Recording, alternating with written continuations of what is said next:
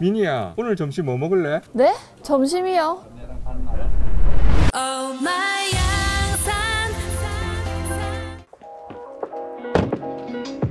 안녕하세요. 양산시 공식 유튜브입니다.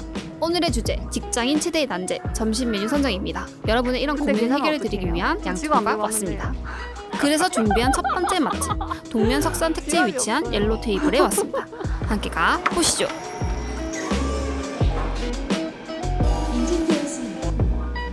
깔끔한 실내 분위기, 사장님의 감성이 묻어나는 인테리어입니다.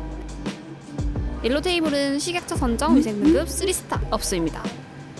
전체적인 메뉴를 보시죠. 커피도 합니다. 브런치는 커, 커피랑 마셔. 아 진짜? 아, 이거 우리는 선- 더치 베이비와 선보여요? 라자냐를 선택했습니다. 아, 예. 저녁 메뉴도 있어요 따로? 아니요, 저희는 6시 거까지밖에 안 해서. 브런치 카페잖아요. 테이블마다 다른 꽃이 세팅되어 있네요. 어, 근데 냄새가 안 나지, 왜 백합인데? 카란가? 아, 카라네. 저기 언제나 음식을 기다리는 건 정말 힘이 듭니다. 어제 닭달대기 먹었어요. 닭달 스테이크.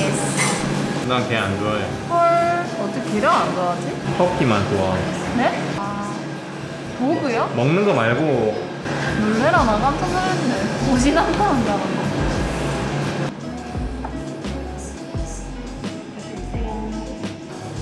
옐로 테이블의 아이스 아메리카노는 정말 구수한 맛이었습니다. 음, 스멜. 향도 너무 구수해요. 드디어 더치베이비와 라자냐가 나왔습니다. 더치베이비는 피자 같은 빵에 소시지, 에그프라이, 야채, 감자튀김 등을 얹어 오븐에 조리한 음식입니다. 아까 그릴즈를 조리할 때 보니까 무쇠팬 통째로 오븐에 넣어서 조리를 하시더라고요. 하, 카메라가 실제 아름다움을 다 담아내지 못하는 게 너무 아쉽네요. 너무 맛있습니다. 다음으로 라자냐. 하, 라자냐 진짜 맛있었어요. 라자냐 너무 맛있네요.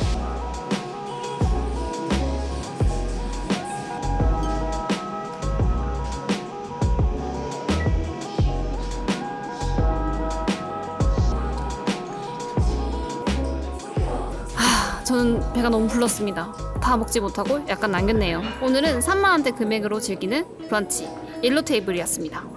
너무 맛있게 잘 먹었어요. 식사 후 시간 되시는 분들은 바로 옆 양산 천면을 산책하시는 것도 좋을 것 같습니다. 추천 추천. 구독과 좋아요, 알림 설정까지 부탁드려요. 안녕. 앞으로도 양주부 선정 맛집 시리즈는 계속됩니다.